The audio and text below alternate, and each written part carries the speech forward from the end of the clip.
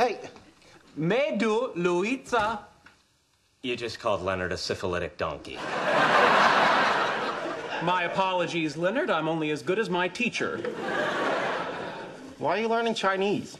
I believe the Szechuan Palace has been passing off orange chicken as tangerine chicken, and I intend to confront them. If I were you, I'd be more concerned about what they're passing off as chicken.